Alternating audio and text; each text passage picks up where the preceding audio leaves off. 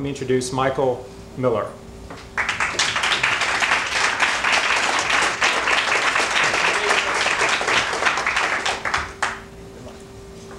A little bit of creative uh, writing on Mike's part. I welcome all of you to this debate, which is about the foundation of libertarianism. Is it ethics or is it economics? Everybody recognizes the desirability of using both ethical and economic arguments when defending libertarianism. In fact, libertarians are quite fond of pointing out the convergence of the moral and the practical. The libertarian system of private property rights and free exchange is said to be not only the only moral system, the only system that protects individual rights, but also the system that guarantees that all resources go to their most productive use. So there seems to be two great pillars, ethics and economics, in support of libertarianism. All too often, however, I've caught myself and others uh, sliding back and forth when trying to defend libertarianism, using one to support the other while attempting to show that the libertarian system of property rights is in fact also the most productive, I have found it quite handy at times to trot out the old system of property rights to determine what is the most productive, uh, socially speaking. On the other hand, if it weren't for certain economic facts, wouldn't many of us, or some of us at least, reject libertarian property rights as being inconsistent with perhaps a more basic libertarian demand, perhaps one, that each person should own his own life and the full product of his labor. In other words, doesn't economic fact enter into what we believe about property rights? In any event, uh, are libertarian ethics and economics independent of one another? Is one dependent upon the other? Are, heaven forbid, are each dependent upon the other? We need to think about these questions both in order for us to understand our own position and for us to know how best to persuade others of the virtues of liberty. We must be careful to keep conceptually distinct, though, what is the, the question of what is the theoretical foundation of libertarianism, and on the other hand, what is the best support when trying to persuade somebody in a particular context. So to assist us in all this, we are fortunate to have as our debaters David Friedman and George Smith, who are widely recognized as two of the leading young libertarian thinkers today. David, an economist, will defend the side of economics, and George, a philosopher, will defend the side of ethics. There's nothing necessary about that, I suppose. An economist could defend the side of ethics also, but.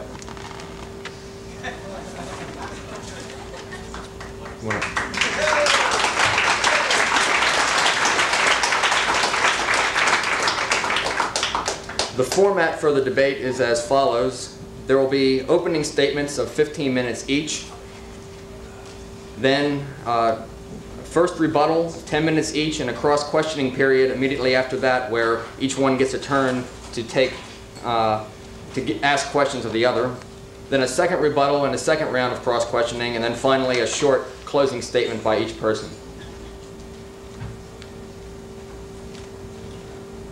David Friedman will begin. Let me introduce him a little. He's an economics on the economics faculty at Virginia Polytechnic Institute. He's been this past year a visiting assistant professor of economics at UCLA. The author of The Machinery of Freedom. His writing has been published in the Journal of Political Economy, Journal of Legal Studies, American Economic Review, the Intercollegiate Review, Reason, and, and others. And in addition to all this, David has a PhD in physics. David? Cutting the lights, can the colored ones at least? Can the colored lights be cut? Thank you. Can everybody hear me? I regard microphones as instruments invented by the devil to distort the human voice. Can you hear me all right from here? Yes. Fine. Let me begin by saying that what this debate was, at least the first time around, I believe, was a debate about what sorts of arguments were most important or most useful in defending libertarianism. Uh, there is certainly a sense in which economic arguments without philosophical arguments are logically impossible or useless. You can't talk about what's desirable without talking about what ultimately you want. However, if everybody agreed about what, what you wanted, then you would reduce only to questions of how to get it, which would be economic questions. Let me start by briefly defining what I mean by economics and economic arguments versus philosophy and philosophical arguments, because I got the impression towards the end of the previous run of this debate that a good deal of what I thought was economics, George thought was philosophy, which led to a certain amount of confusion. Economics deals with questions such as what will be the consequences of certain laws or certain institutions. And philosophy, or at least the particular part of philosophy that is mostly used by libertarians for making arguments, deals with oughts, with statements such as it is desirable that people be happy, or you ought not to steal someone else's property, or other questions of that sort. Now, there's a good deal of overlap in these two, and that can be seen by considering one very simple philosophical position, the position called rule utilitarianism, which holds that we ought to act according to that set of rules which maximize the sum total of human happiness. Now, in one sense, you could say that all of what I call economic arguments, which say that if you have private property, people will be happy, for example, are a part of a philosophical argument which the rule utilitarian uses to say we ought to act in certain ways. But I would separate out the philosophical part of the argument, which is what says, for example, you ought to make people happy, from the economics which discusses what the consequences of certain acts will be. So that then when I'm saying that we ought to use primarily, not entirely, but primarily economic arguments, I mean we ought to be arguing with people about what are the consequences of certain acts, what are the consequences of certain institutions, how does socialism work, how does capitalism work, rather than arguing with them primarily about whether taxation is immoral, uh, whether private property is a natural right, and so forth. And my reason is not that I believe that is statements without ought statements can tell you what you should do. Obviously they can't. But that I believe that most of the disagreement in the world comes from most of the disagreement on things libertarians are interested in comes from disagreements about how institutions work, about consequences, and only a relatively small part from disagreement about ends. Uh, one could see that in the extreme case, if I persuaded a socialist that socialism would lead to everybody being poor and miserable and enslaved, and capitalism would lead to everybody being happy and wealthy and wise, we might have many, many remaining disagreements on what was desirable, and yet he would almost certainly be in favor of capitalism. Uh, therefore, even though the statement, it is desirable that people be healthy and wealthy and wise, which is a philosophical statement, would be logically necessary for the argument, it would not, in practice, be necessary. Now, George objected last time, and I'm sorry if this seems like a rerun, but it is. Uh, second time for me, the third time for him, which I may explain sometime. Uh, he, he objected that I seem to be including an awful lot in economics. And for those of you who are perfectionists, I would say economics is that particular approach to understanding what is, which starts out with the premise that individuals have objectives which they rationally pursue, and draws conclusions from that. However, it would take much more than 15 minutes to expand on that subject, so I won't. Uh, part of my evidence that political disagreement stems more from disagreement about is's than oughts comes from the following experience, which I have had and I think many of you have had. A libertarian is arguing with a socialist, and they're arguing about some fundamental moral question such as whether a capitalist has the right to the profits he gets from his capital. And one discovers after a while that the socialist's idea of the history of the particular hypothetical capitalist is that the socialist got his capital by stealing it from somebody. That is, by doing things that the libertarian would regard as stealing it from somebody. Whereas the libertarian's idea of the history of this hypothetical capitalist is that he hacked a tract of, a tract of land out of the jungle while the lazy worker sat by and now wishes to get some income uh, for the use of his uh, farmland. And that suggests to me that both people have very similar moral intuitions, and that each of them is trying to twist his vision of reality in such a way that his moral intuitions will be consistent with the set of institutions that he is in favor of. And I would give as one more rather striking example of that the way in which Marxists use the term exploitation. Very simply, the Marxist argument goes as follows.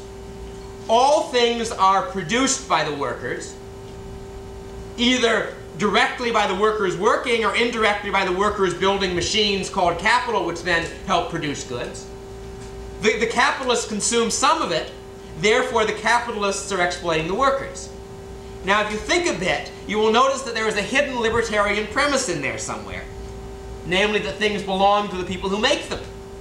If the socialists really believed that the right premise was from each according to his ability, to each according to his needs, it would follow that if the workers were good at working and the capitalists needed Rolls Royces, that there would be absolutely nothing wrong with the capitalists receiving profits.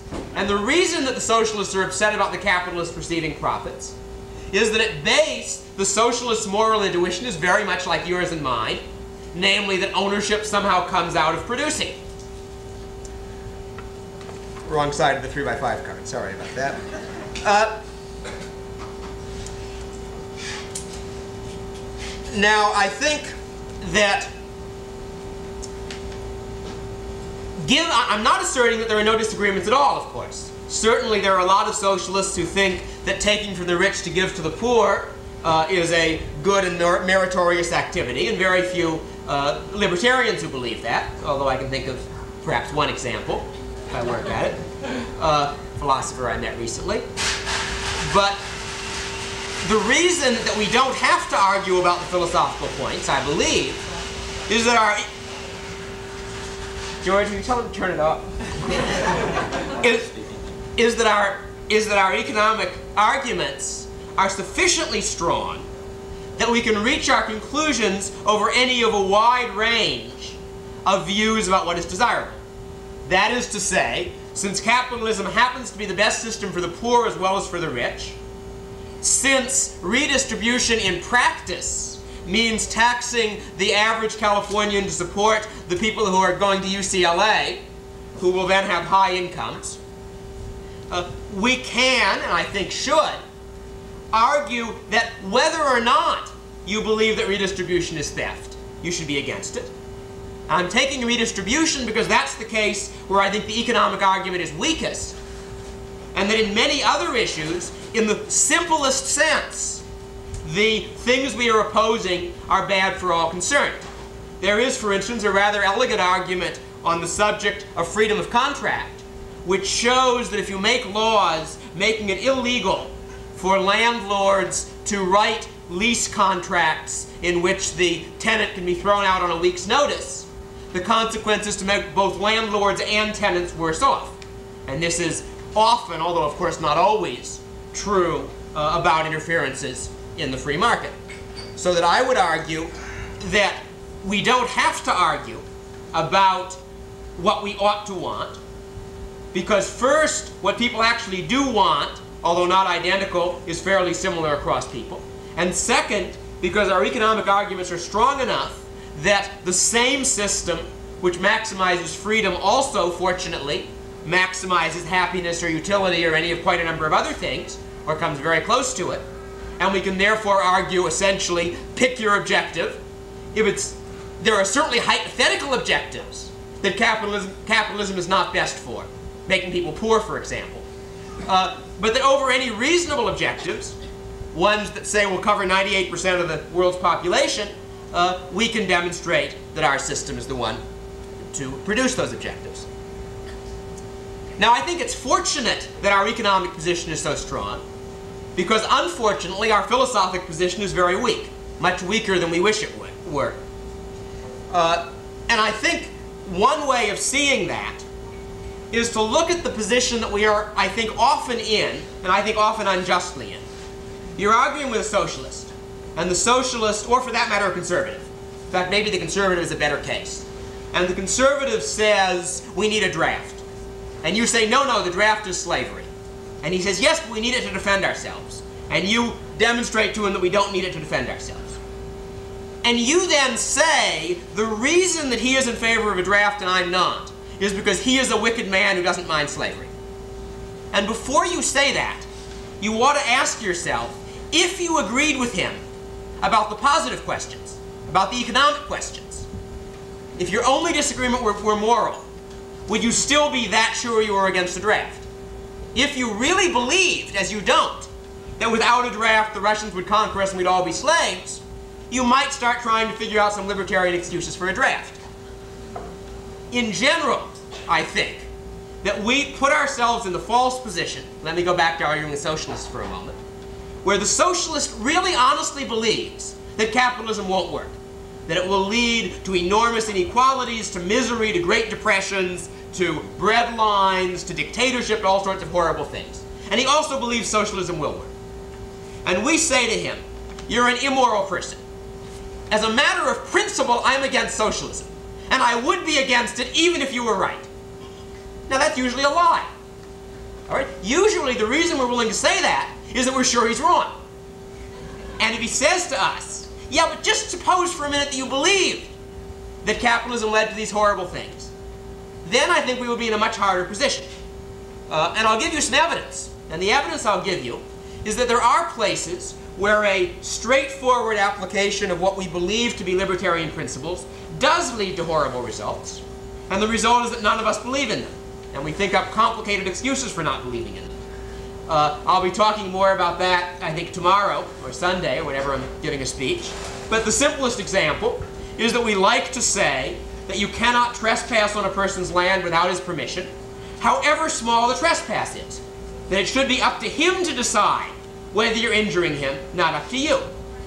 Every time I light a match, photons from that match are trespassing on property for 100 miles around.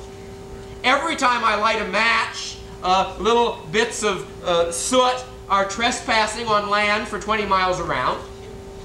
And therefore, if we really took seriously sort of a lot of the simple a prioristic arguments that we sometimes like to make in order to prove things we do believe are true, if we took those things seriously, we would conclude that you couldn't light a match without permission from every landowner within sight. Uh, every landowner with a sufficiently powerful telescope could see your match, thus demonstrating your photons are trespassing on his property. We don't believe that. When these simple, hard and fast arguments lead to conclusions we don't like, somehow we ignore them. And I suggest that that is a good reason why instead of saying to the socialist, the reason you ought to agree with us is we're morally right, we ought to say to him, the reason you ought to agree with us is that your system leads to results you wouldn't like, and we can give you quite a lot of evidence for that, both empirical and theoretical, and our system leads to results you would like, and therefore you should be in favor of our system. Now, having said that, uh, I don't want to argue that there is no place for philosophy. There are two places for philosophy. One of them is that the philosophers should work at doing a better job than I, from my biased position, believe they have so far done in giving coherent, clear, persuasive explanations of oughts. And maybe then eventually we will all agree on that, maybe that'll help a little. Second, the philosophers can and do serve a useful defensive function in trying to make people willing to consider our ideas by making it plausible that what we want is morally attractive as well as functional, and that what they thought they wanted is morally unattractive as well as non-functional. And that, I think, is a useful and valuable function. And I've got seven seconds left, so it's George's turn.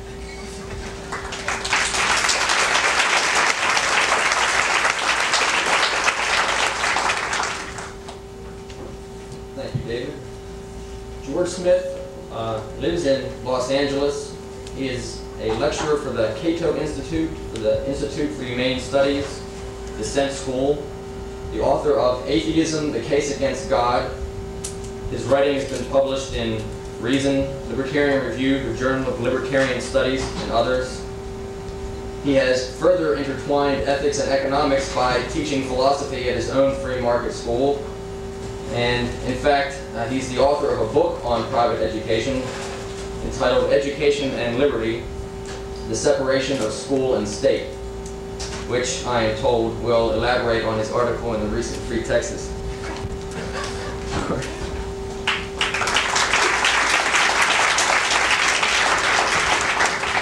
Being a firm believer in technology, I will use the microphone. Um, the subject we're debating here uh, this evening is which is the proper foundation for libertarianism, economics or ethics. Now I think the key word here is foundation. Uh, I would be the last to deny the enormously valuable contributions that economics can made, and in fact has made, uh, can make and has made to the libertarian case. But I think when we're talking about the proper foundation of libertarianism, we clearly have to decide in favor of ethics being the, the basis for the libertarian philosophy. Now I'll try to explain a few reasons why I think this is so. First of all, let's consider what's involved in even stating what libertarianism is. Now I don't mean just applying libertarian principles to a particular problem, but I mean if you were to explain to a friend of yours and he said, well tell me what libertarianism is in 25 words or less, what would you say? Well, I suspect you would say something like, well, libertarians believe that no person should initiate force against another person, or libertarians believe in a right of self-ownership, or libertarians are against any form of aggression. Regardless of how you state the basic libertarian principle, somewhere in that statement, you're going to have an ought statement, a should statement, or a statement pertaining to rights. And of course, rights have implicit within them ought statements. In other words, you'll have to say something like, people ought not to aggress. So in the very statement of the essence of libertarianism, you are already hip deep in ethics because you are introducing that very important ought, or as philosophers like to call them, normative statements. Now I would suggest to you that there is not similarly implicit within the basic statement of the libertarian philosophy necessarily a particular view of economics. Granted, a view of economics develops out of that basic philosophy, but it's not as essential, that is not as basic to it, as is the ethical aspect. So that's the first point I want to make, and in an attempt to clarify what I mean when I say that ethics is the foundation of libertarianism. Now let me proceed a little bit and try to clarify more in what sense ethics is the foundation. First, we have this notion of rights that practically all libertarians subscribe to in one form or another. You may state it in different ways. You may say that libertarians believe you have a right to life, or you may state it, as I prefer, that every person has the right of self-ownership. But however you state it, you come down to some kind of theory of natural rights. But you see, one could believe in some theory of natural rights and yet not give it top priority in one's philosophy. For example, you might, or uh, some people you know might, if you ask them, do you think people are self-owners, they might say, well, of course I do. Yes, of course. But then, when confronted with a particular type of problem, they might decide that there are overriding considerations more important than a person's individual rights. Now, there are many, many historical examples of this. Let me give you one, and I think it illustrates very clearly how there can, in fact, be a conflict between moral arguments and economic arguments. Now, I should mention here that I happen to believe in most cases there are not conflicts, that the two are very compatible.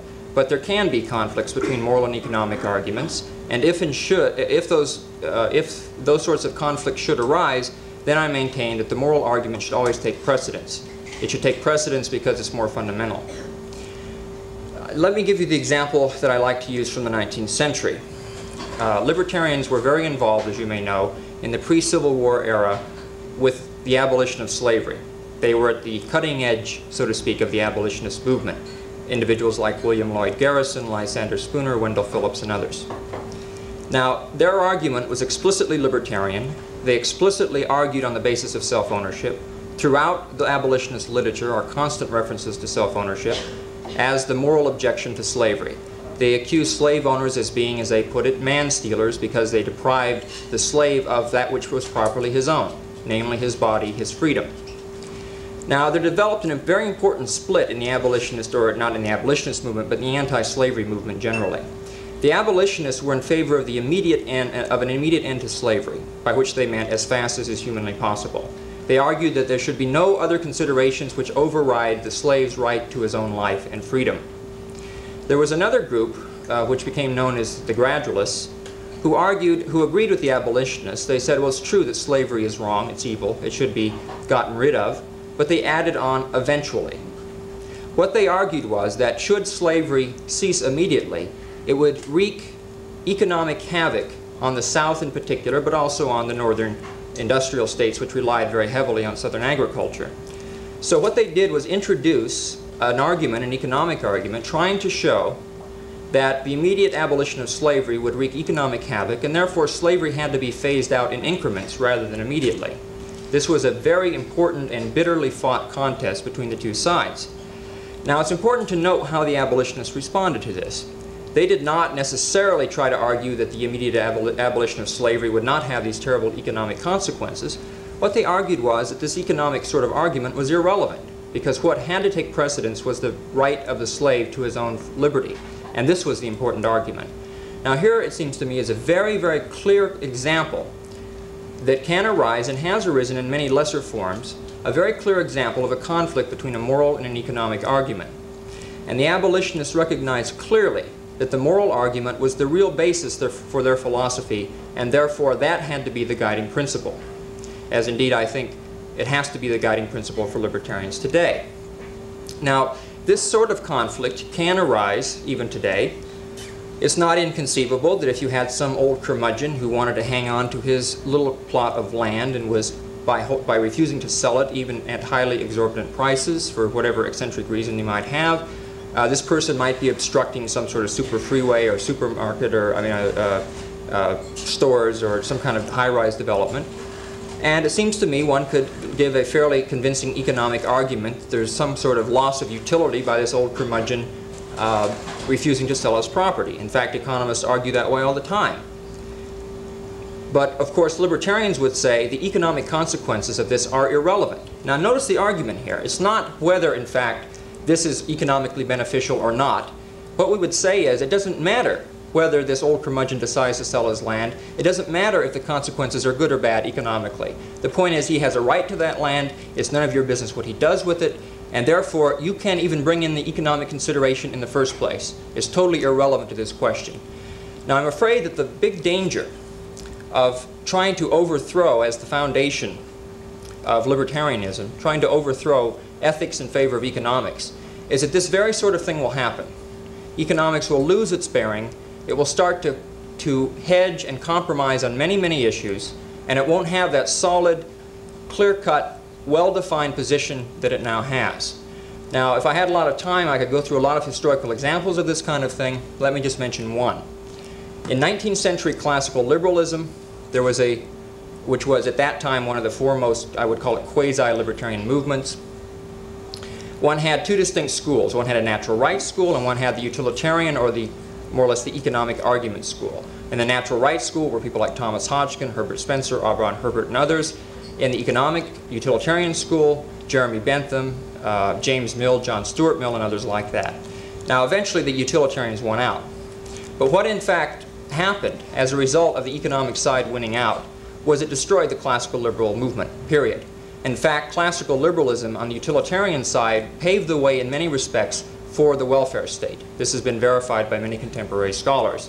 Because by using these economic arguments about social utility, social welfare, and so forth, what the utilitarians did was set up their opponents. So eventually the socialists and the welfare state people came along and said, well look, we think these things promote social utility. We think the state can actually further social utility and the, the utilitarians really were bested.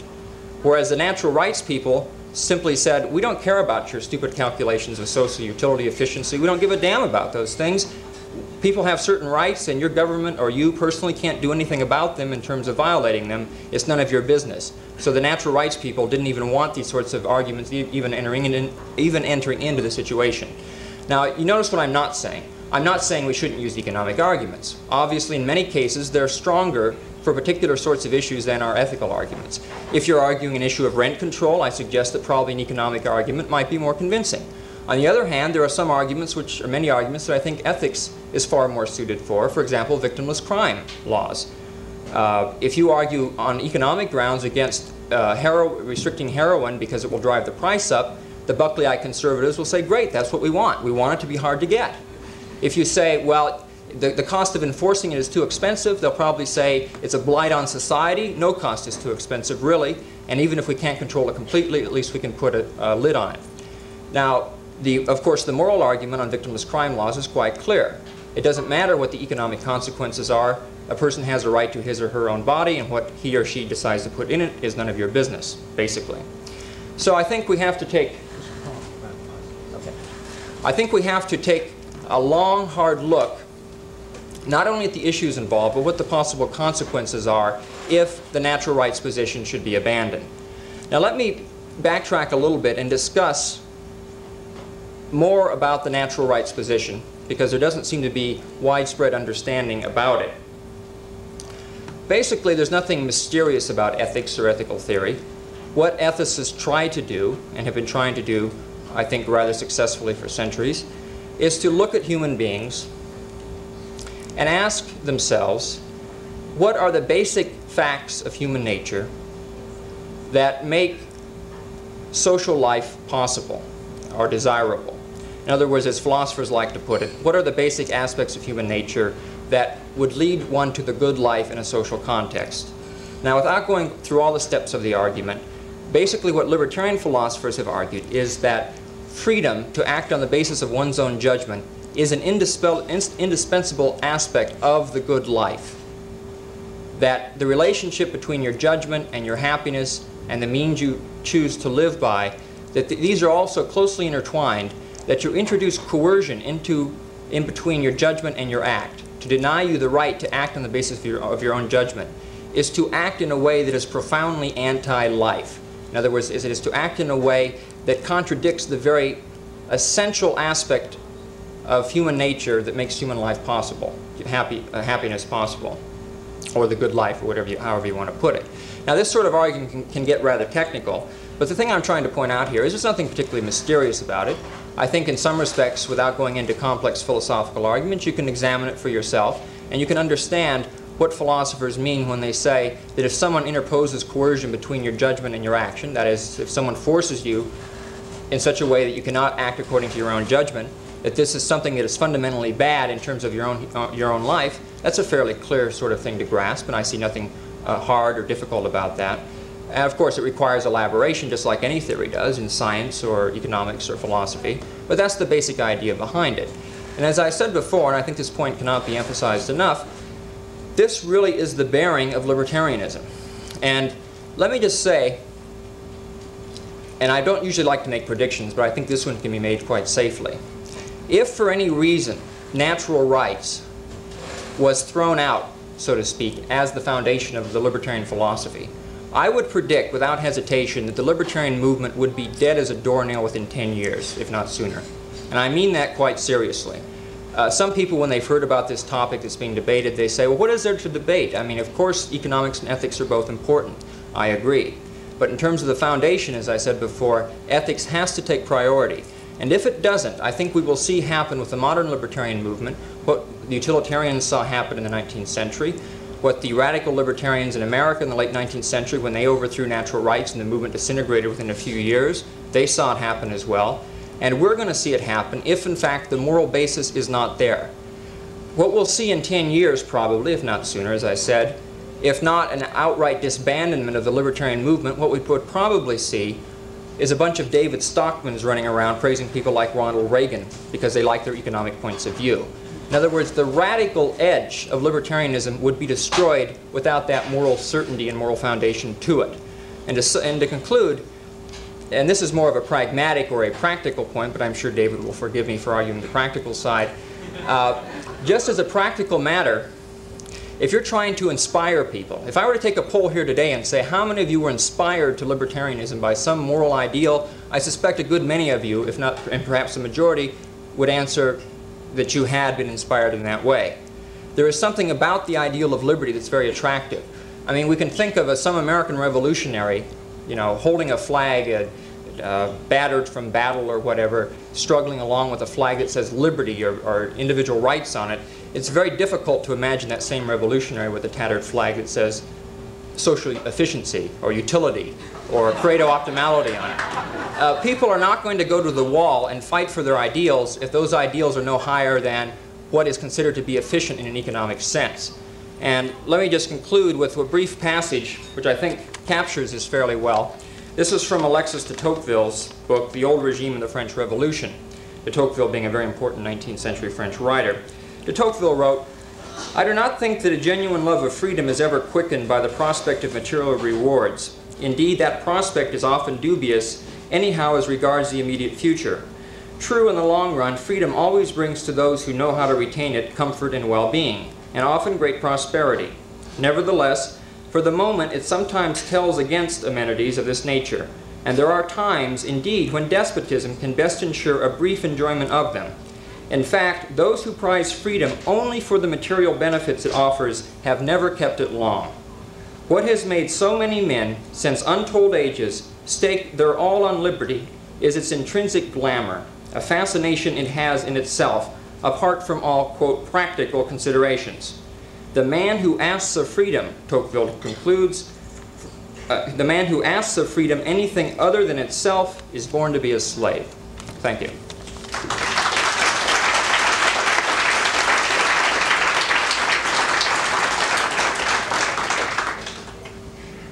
I think George has, has clearly established the, the principle that philosophy does have an important function in, in libertarianism. Its function is providing purple prose and whipping up our passions and letting us all feel good about what we're doing and getting us to die on the battlefields under the black flag and things of that sort.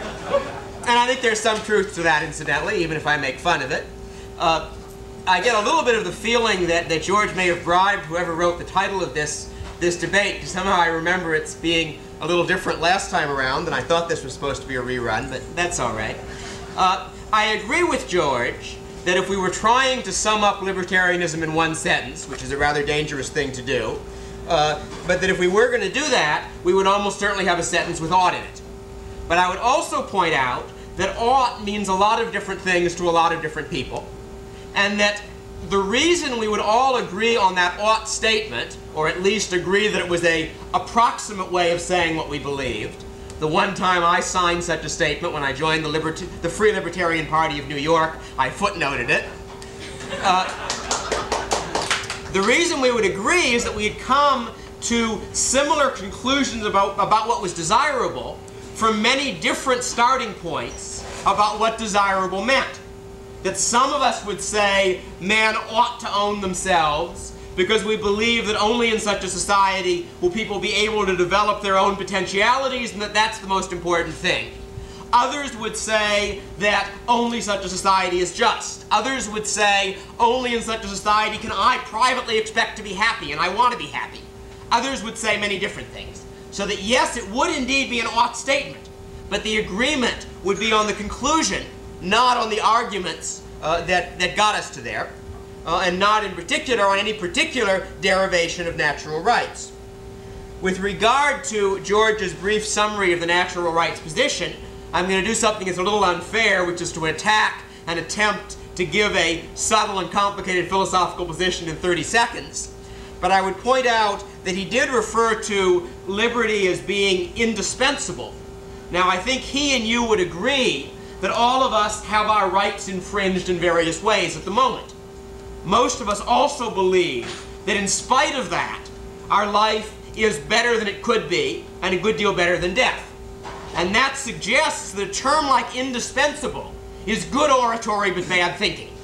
And that you really ought, in making the arguments, to say, for the following reasons, human freedom is desirable if as seems to be the case, I can have human freedom and many other things as well. That's certainly good.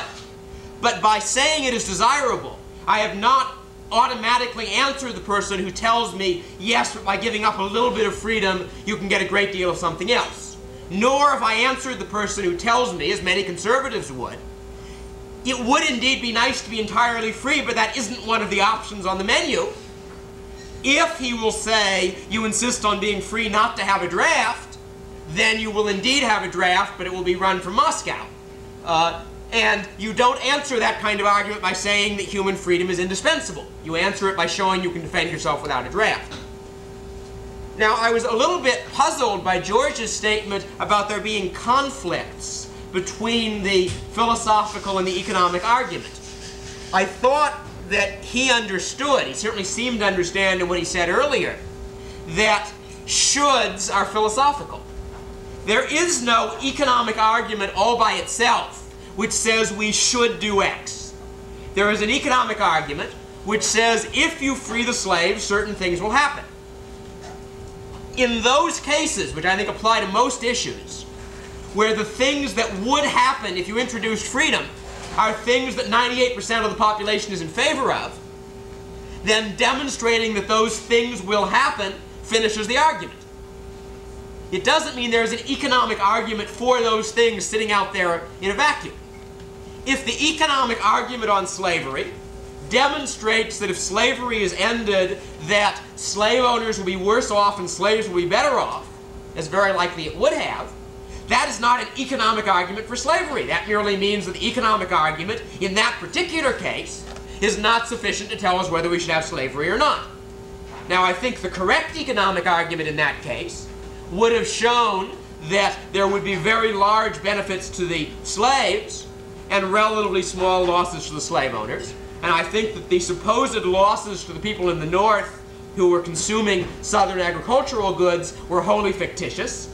That is, that the slaves would have, as they did, become farmers whether or not they were, they were slaves.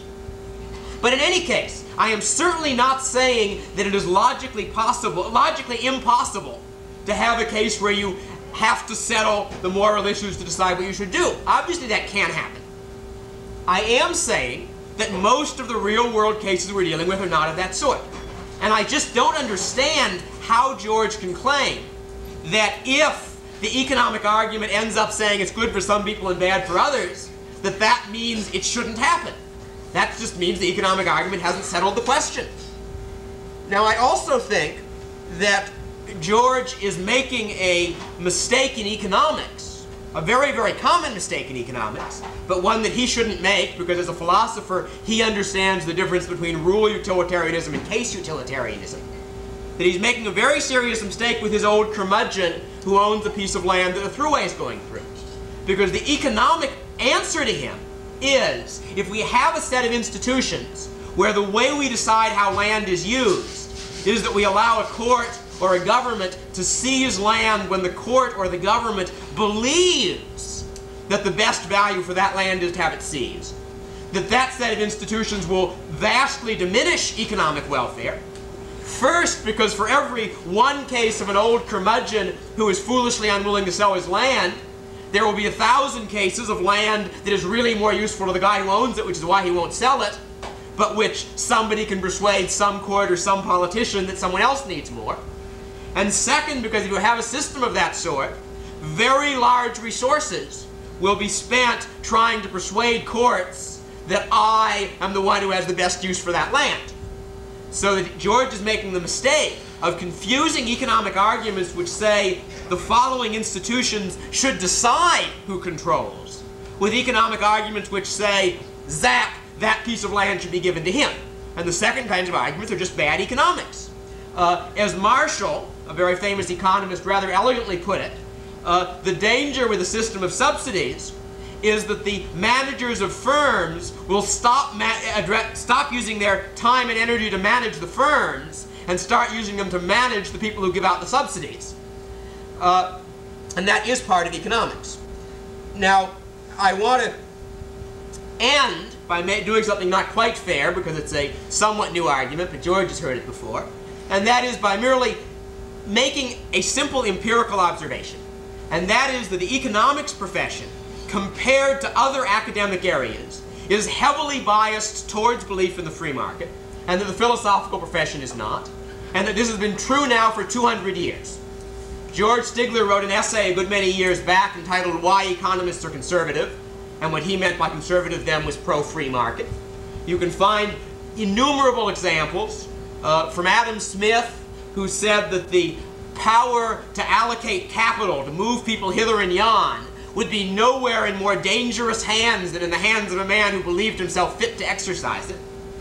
To Ricardo, who commenting on the welfare system of England at the beginning of the 19th century said, the law of gravity is not more certain than that such a system must turn wealth into poverty uh, and confound everything in universal misery.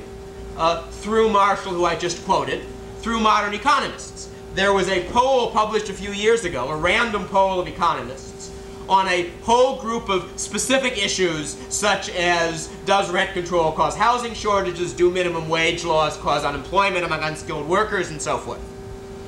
With the exception of questions on redistribution, you had generally between 90 and 99% support for the right side on those questions in a random sample of economists.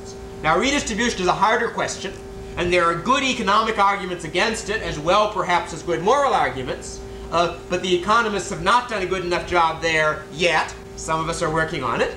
Uh, and therefore, there are a lot of good economists who still are in favor of government redistribution, unfortunately. Uh, not sure if I have anything else to say, except perhaps that Adam Smith based his argument against slavery on economic grounds, uh, and that Adam Smith's disciples succeeded in abolishing the slave trade peacefully. And furthermore, with regard to the example of slavery, I would suggest that if you insist on being passionate, and if you insist on saying it's not a question of is there something that, that so, some way that doesn't hurt anybody too much, but only right and wrong, you will very often end up killing half a million people, which is what the resolution of the slavery issue, the way it got resolved, did. Also enslaving most of those people before they were killed. Uh, that consequently there are tactical as well as fundamental reasons for making economic arguments. And that is that the other kind of argument too often ends up saying it's just the good guys and the bad guys, and it's clear that the ultimate conclusion is if it's the good guys and the bad guys, is the good guys ought to kill the bad guys. And unfortunately, they think they're the good guys, and so some of the results of that are not entirely attractive. Thank you.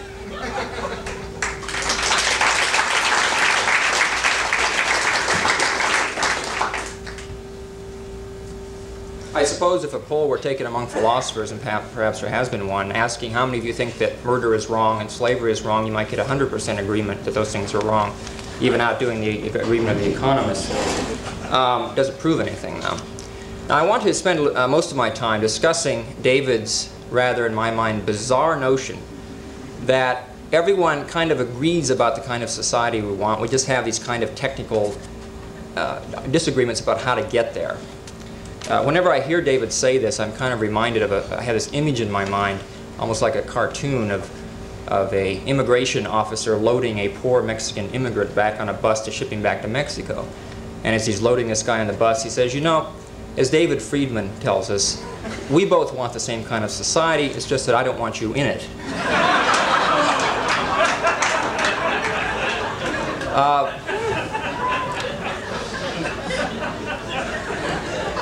now, David, being a good economist and a good empiricist and eschewing any sorts of a priori abstract, the nature of man kind of arguments that ethicists like, uh, I'm curious as to how he got this knowledge that everyone wants the same sort of society. He said he talked to a few people and some socialists. Well, okay, I, he's a very gregarious fellow and I'm sure he talks to a lot of people.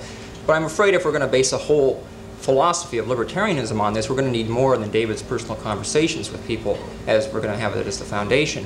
Now I'm wondering, is this some kind of poll he's taken? Has he interviewed everyone in the world to find out what kind of society they want? I doubt it rather seriously. I don't know if Gallup has taken that kind of poll. Uh, I suspect if that kind of poll were taken, people would express profound, at least on the surface, profound disagreements about the kind of society they wanted. Now, what would David then do? Would he say, if that were done, would he say, well, they don't really know what they want or they just aren't expressing it right? In other words, we, I'm afraid David would come around telling these people what they really want in spite of what they say they want. Uh, so I'm curious as to how he knows this. It's a very simple question and a very important one. Where did he get this information? I don't have that information. I doubt if many of you have it, but David has it. And how? Now, if he didn't get it empirically by a poll, then what is he doing here? Some sort of deductive a priori philosophy? Is he, by any chance, sneaking in some sort of human nature argument that all human beings, by their very nature, want a certain type of thing? If he is, welcome to the camp of philosophy and moral theory, because that's basically what he's talking about. So we're basically in the same camp if that's the case. Now, as you gather, we've, we've uh, as David mentioned, we've, we've been through this a few times before. Uh, but I can't seem to convince David that people really want different kinds of societies. And it's not just technical differences about how to get to a certain type of society. So this time I prepared in advance and I brought along a few quotations. Now, these are not quotations from just your ordinary man in the street. These are fairly influential philosophers and political figures. Now, perhaps David would like to explain uh, how these people really are basically latent libertarians. It's just that they're a little messed up about the kind of how to get there. The first is from Johann Fichte, who was a very important early, late 18th century, early 19th century German philosopher. Fichte wrote, Rational life consists in each person forgetting himself and the species, tying up his own life with the life of the whole, and sacrificing himself for the sake of the whole. And Fichte, of course, went on to say that the state should enforce this. Our friend and fellow traveler, latent libertarian Mussolini, put it, Life is conceived by the fascist is as serious, austere, religious in all its manifestations. The fascist disdains an easy life. Fascism denies the materialistic conception of happiness and abandons it to the economists of the mid-18th century. This means that fascism denies the equation well-being equals happiness, which sees in men mere animals content when they feed and fatten, thus reducing them to a vegetative existence pure and simple. Close quote. Now, was Mussolini lying? Or do we have here a legitimate example of an honest disagreement about not only what, the, what happiness is, but about the kind of society? Finally, another good libertarian, Adolf Hitler, wrote, The state has to take care that only the healthy beget children. The state has to appear as the guardian of a thousand years' future, in the face of which the wish and the egoism of the individual appears as nothing and has to submit. He concluded, the right of personal freedom steps back in the face of the duty of the preservation of the race. Close quote. The preservation of the race. Is this just a disagreement about means? This is ridiculous. This is not a disagreement about means, ladies and gentlemen. This is a very important different disagreement about ends, about social ends, and about moral principles. Now, I suppose David, if he were sitting down with old Adolf, might want to argue that the costs of trying to implement this would be too high. Uh, well, I'm afraid there are a lot of people who aren't, don't care that much about costs. Uh, I don't think cost-benefit analysis works well with a lot of people. If you've ever talked to a person with strong religious convictions, for example, which many conservatives have, and they think that God has told them to stamp out sin and therefore lock up all the dope users, he doesn't care about cost-benefit analysis. He would be even willing to suffer some sort of uh, uh, deprivation of his own lifestyle uh, lowering of his own lifestyle if he thought he could lock up all the dope addicts. I mean, you know this from your personal experience. I shouldn't have to stand up here and tell it to you. And therefore, I'm very puzzled as to why anyone would think that it, starting from the premise uh, that everyone wants the same kind of society could in any way form a basis for libertarianism. It can't, because first of all, it's a false premise. Now, there are a number of other issues here. Oh, and by the way, it's quite true that with regard to some socialists, you do get some kind of agreement about general ends. This was pointed out in the 19th century by Gustave de Molinari, who was a very important French libertarian. He argued uh, that with some socialists, you can more or less say, look, we both want the same thing. Now I can show you how a better way to get there. Uh, to some extent, Ludwig von Mises has pointed this out. Uh, Murray Rothbard, in a very important essay called Left and Right Prospects for Liberty, talked about the development of socialism in the 19th century, and he also pointed out that some socialists did indeed want a kind of society that libertarians wouldn't find that bad, and there was serious disagreement about means, however. That works with some socialists. It doesn't work with fascists, it doesn't work with monarchists, it doesn't work with all kinds of political philosophies, and to single out one particular sort of political philosophy and a, and a small portion of socialists at that does not provide a good example or a good enough example to support David's thesis. Now,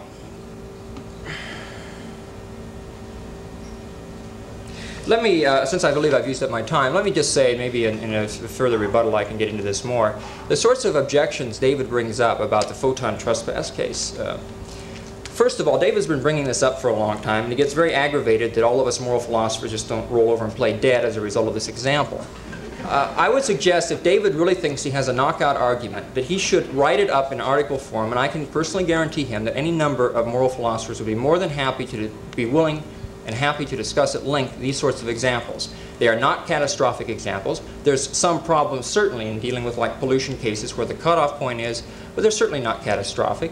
And David seems unwilling to develop them in any kind of detail. To get up here and pronounce that this destroys libertarian moral theory is absurd because he has not shown in any way why libertarian premises do lead to this being a catastrophic consequence. It doesn't lead to that. I don't believe it leads to that. I know no moral philosopher does. Our premises don't require that we accept that kind of absurd case. And until David provides convincing reasons as to why we should find it troublesome, then all I can say is I await an argument on his side. Thank you very much.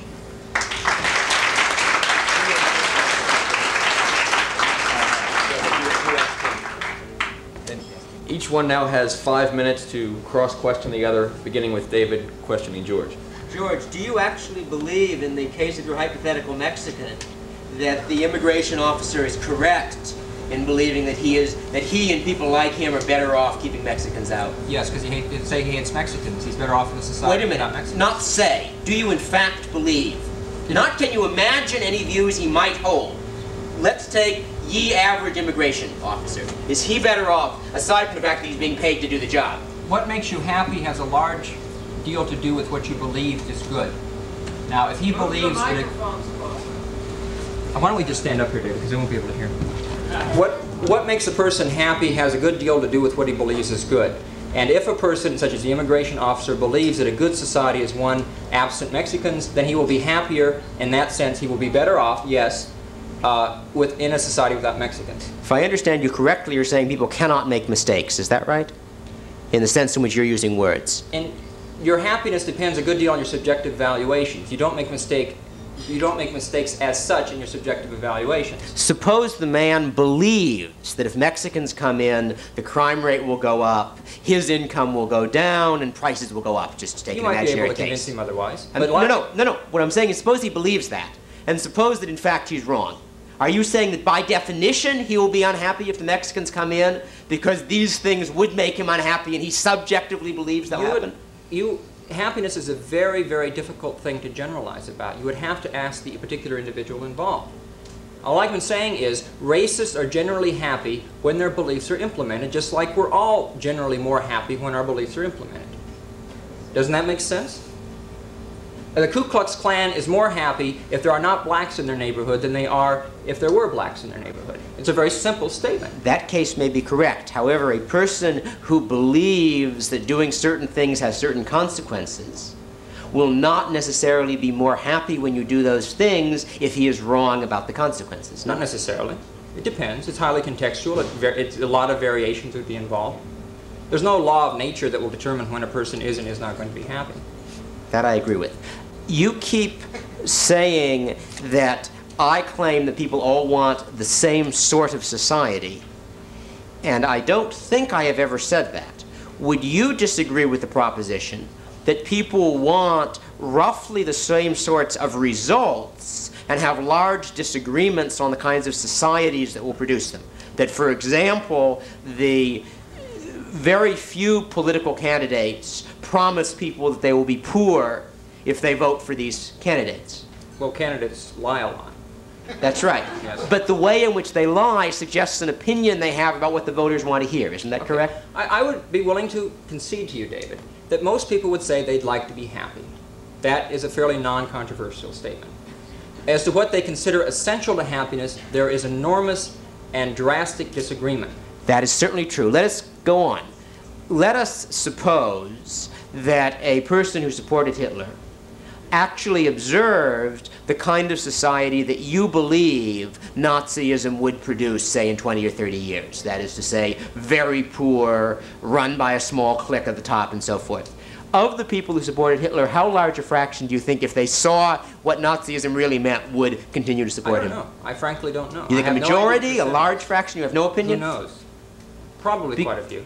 Because it seems to me that you are continually confusing disagreement about how a particular society will work, i.e., the Nazi who believes, or take Mussolini, which is a better case, because probably you and I agree with the quote you quoted from Mussolini. That is, that happiness, in some technical sense, is not merely eating enough and, and having creature comforts and so forth. And if we take the people who supported Mussolini, if they were able to actually observe and live in a well-functioning libertarian society, or alternatively, what Mussolini's fascism would have become after a generation or so.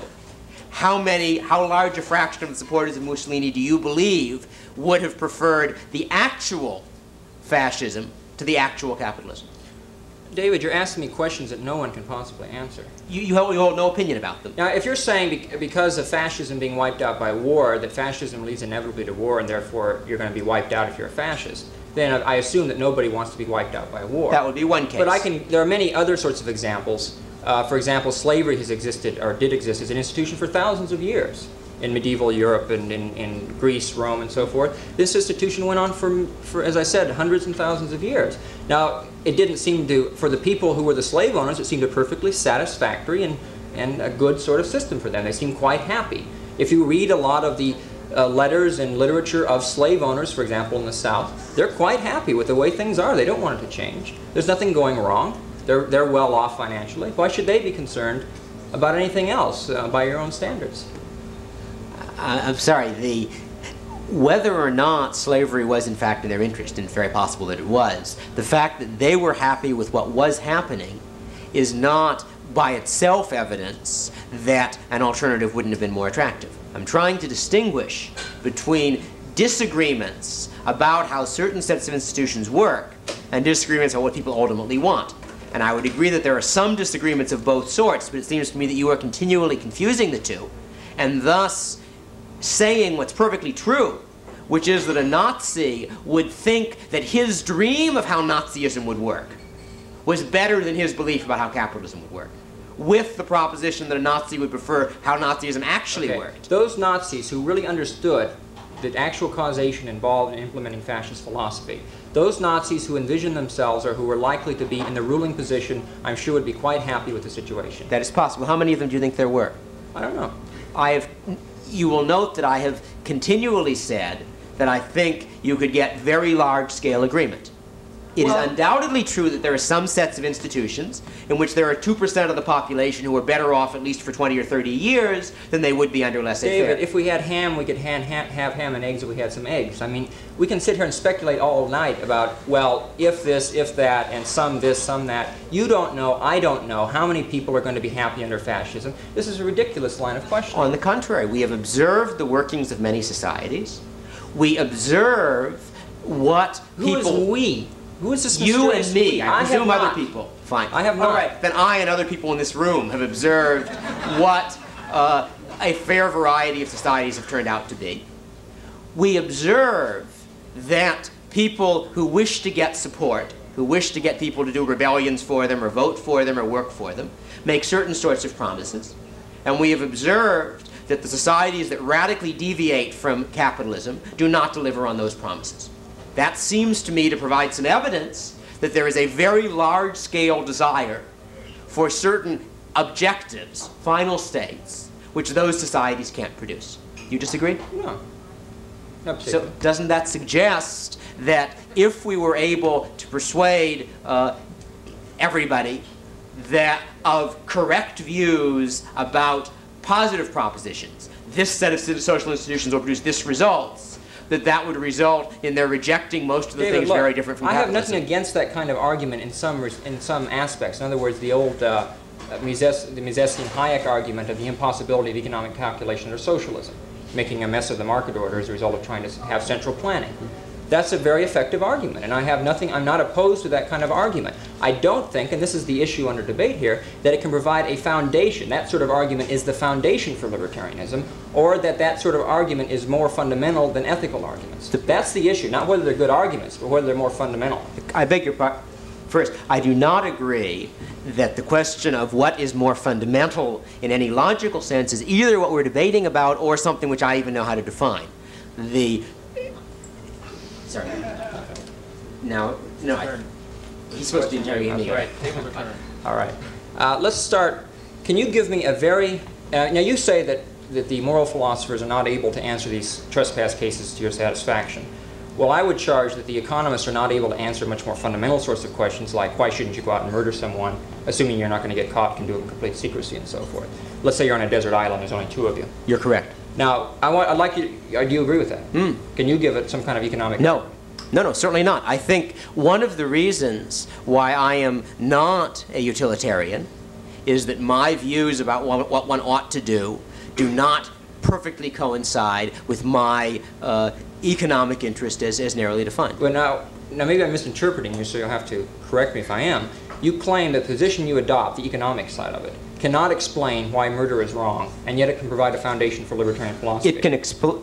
I, what I claim is that the position I adopt can explain why I should be in favor of laws against murder, which is a very different proposition from explaining why murder is wrong. That it, therefore, although it cannot answer the question, why should I never kill? That it can answer the question, why should I be in favor of living in a society in which people are prevented from killing? It cannot pronounce murder wrong, though. That's absolutely correct. Economics cannot pronounce anything, Anything wrong. wrong. Economics That's can only precisely the point. That's right. Economics can make a proposition of the form if we have a society where mur- it is, if we have a society where murder is forbidden, I and most other people will be better off than it. Assuming we have to have a lot of qualifications. What I mean by better off, I don't mean it in a moral sense. We have more of the things we would like to have than in a society in which murder is permitted. Uh, but no, I am not claiming, I have never claimed, that economics provides a substitute for moral philosophy. What I claim is that my moral philo- philosophical views are views which I do not believe either you or other libertarian uh, moral philosophers can justify to my satisfaction, because every time I've discussed it with somebody who has tried, it seems to me are have- what have you read on the subject? What have, I, what, what have I read? I've read Rand stuff, I've read Nozick stuff, and I've argued with lots of people. But you haven't read Machan or any of the classical oh. works on moral philosophy, I, I've argued with Machan at considerable length. Aquinas. Uh, Aristotle a very long time ago, and have forgotten most of it. Some of it, some Well, of the point I'm trying to make, ago. if I stood up here and took a lot of pot shots at economics, and you say, well, what have you read? And I say, well, I read one book by Henry Hazlitt, uh, I doubt if you'd find, you'd probably say, well, look, go read some more and then we'll talk about it. I, I That's might, what I'm saying yeah, you. Go read some more and then we'll talk about I it. I might or might not. It would partly depend on whether uh, you had uh, argued with a sufficient number of reasonably bright people and found their arguments unconvincing. And if you did, David- I would probably be willing to argue with you as opposed to simply telling you to go read some books. But look, you know as well as I do that any fairly complex economic or philosophical position requires a lot of care and systematic presentation. You cannot decide on an important issue simply by having some conversations with people. You have to allow a person a chance to develop a thesis over a period of uh, over a long space and try to develop various arguments, meet certain objections, and so forth. Now, I'm perfectly willing to concede that you may not be personally satisfied by arguments you've had personally with a lot of people. But I would say if you want to get up in public and debate this sort of thing, you at least owe it to yourself to familiarize yourself with the literature, and you have not done that. I will simply be- have not done that. I will be delighted to examine your suggested reading list. But until that time, uh, I repeat that the position I'm arguing for is that from economics we can learn enough so that given the differing views people have about philosophical issues, that given those differing views we can reach widespread, though not perfect, agreement about desirable institutions. Now- and that as far as I can tell, judging by the philosophers and their views, as well as by my encounters with them, the philosophers have not presented a body of arguments with which they can persuade each other, in the sense in which, despite the popular image to the contrary, the economists have produced a body of arguments with which they can persuade each other. Well, would, would you accept my offer or challenge, depending on how you look at it, to write up your objections to natural rights philosophy so that people like myself can look at your systematic presentation and have a chance to reply systematically, rather than having to try in 30 or 60 seconds explain why shining a flashlight on someone's property doesn't constitute a violation of their property rights. You know as well as I do that that's more of a debater's trick because it's easy to posit questions. It's very difficult to answer complex questions like that. I, I don't quite It's, it's, it's tantamount to me saying, I don't see how you can have interpersonal utility comparison in economics and challenging you in a two-minute rebuttal to explain how you can. Let, let me for a moment suggest one reason why I don't think it's a debater's trick. And that is that at least when this series of debates started out, we were arguing, I think, about how libertarians ought to persuade people to be libertarians. Yes, but that's not And- the topic of this debate. That is true. And by the way, it had nothing to do with the selection of the topic. A likely I want to make that clear. I think I- it's a better way of wording it, frankly, but I don't. I didn't have nothing to do with the change. However, the debate, which I believe I agreed to participate in, was a rerun of the last debate. and the debate Now- you debated was a rerun of the last debate. also. Uh, I- however, I would point out that with regard to the question that I at least was debating about, if this room is filled with people, as I suspect it is, at least as other rooms of similar sorts have been, who believe that they can make straightforward ethical arguments which show it is unethical to do this because, and if to those people the line of argument they follow about ownership does leads to conclusions which they cannot live with and would prefer not to think about, such as you can't light a match. That I then have given evidence, not necessarily that you don't have arguments which are moral philosophical arguments with which you could deal with people, but that they don't. And that therefore their opinion, and it's an opinion that I have encountered unfortunately over and over again, that it is perfectly clear that the socialists are wicked, or the socialist position is wicked and immoral and that ours is not, is an indefensible position, that is, one that they cannot defend, and that therefore they ought to argue it uh, on the grounds of consequences rather than on the grounds of principle. Further, I also think that if, as I have observed, uh, the places where you feel that the straightforward arguments don't lead to the conclusions that I, that I raise, incidentally, you're unhappy with the term catastrophic.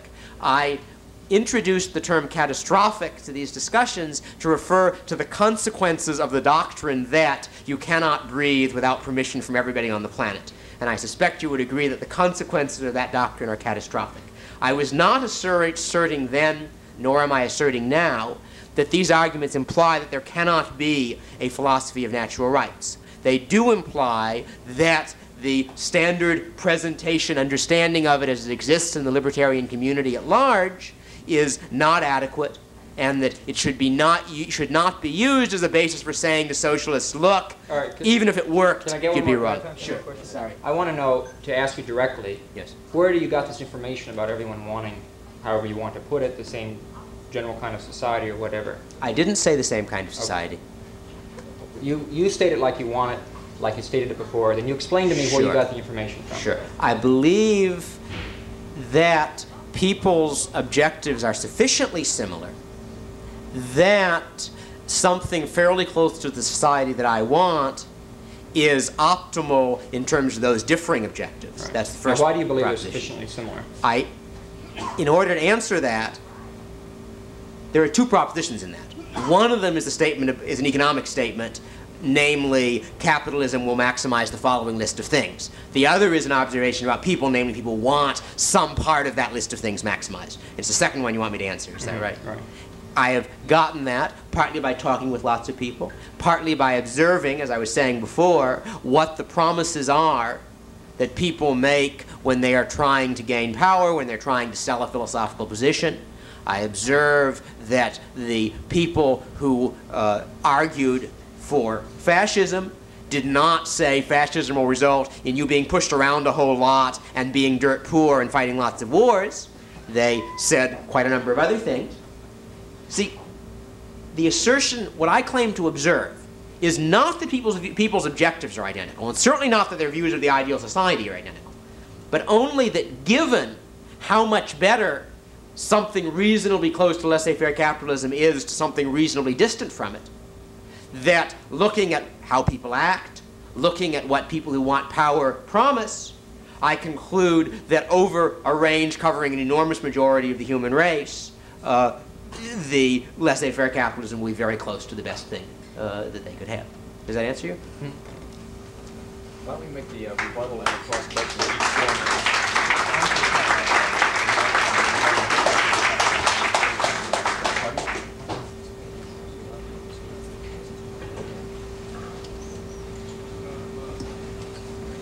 Since everything got started a little bit short, we're running a little bit out of time. We're going to have uh, each debater give a uh, rebuttal for another five minutes each. and then that, then we'll have open questions from the audience. Okay? And I have first? Yeah. How long do I have? Fine. Well, I just want to uh, recapitulate a few points here and uh, try to emphasize what I think are the most important aspects of the ethical case. And again, I hope this is clear by now. Uh, I really have, believe me, nothing against economic arguments. I use them a lot myself when they're appropriate. But as I said at the beginning, I think the issue here is how do we represent libertarianism as a general philosophy or attitude so- toward social relationships. And as I said in the beginning, I think that we have really no choice but to present it as basically a moral philosophy. In other words, what we're trying to say to people, what our gut sort of message, so to speak, to people when we communicate libertarianism is and should be there is a right way to deal with people, there is a wrong way to deal with people. Killing somebody is a wrong way. Enslaving somebody is a wrong way. Stealing somebody's money is a wrong way. Dealing with them voluntarily is a right way. That seems to me to be the basis of what we're trying to communicate. Now, of course, there is the further question, can we justify that? I happen to think that we can, and that we have largely justified those sorts of statements. But if we cannot justify it, if in fact this is some kind of illusion, if we're just kidding ourselves and the natural rights philosophy is, after all, what Jeremy Bentham called it nonsense upon stilts, then I would say we have no case for libertarianism. In other words, I don't see that there's an option here. Suppose the natural rights case is not strong. Then what would I say? That we should adopt economics as a foundation? No. What I'd say is libertarianism is thereby destroyed. There is no case for it.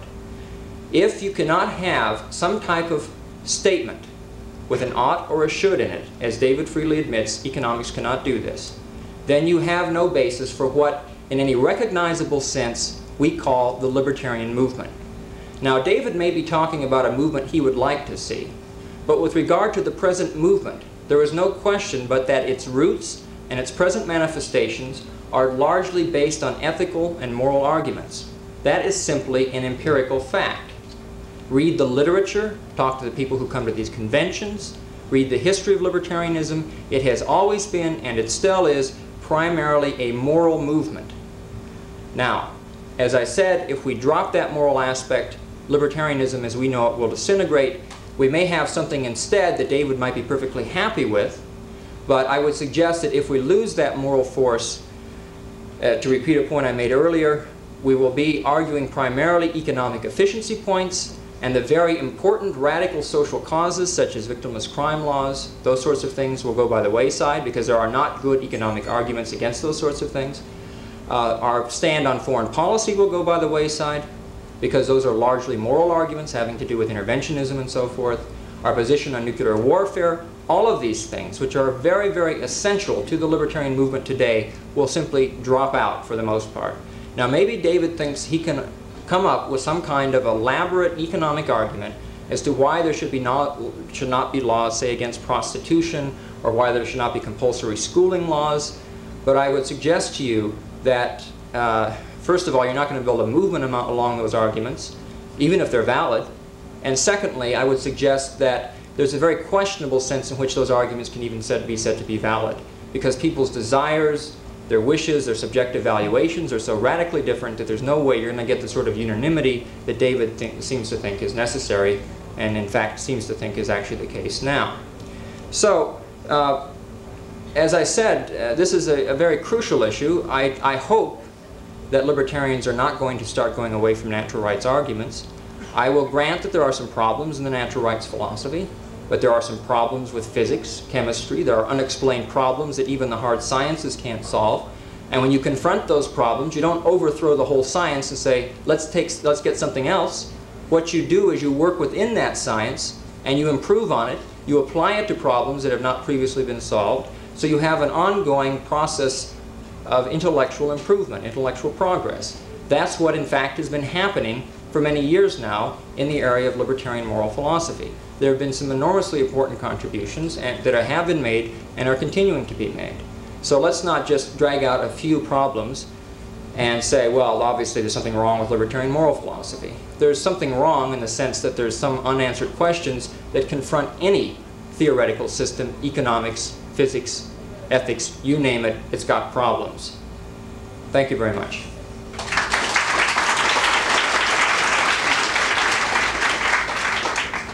I think there may be a rather fundamental difference between the way George looks at the universe and the way people understand the world and the way I do. And it's a difference I am perhaps attributing to him from things he said too much of the view that I perceive in people like Ayn Rand, to take one very prominent example. One way of looking at the world is as a theorem.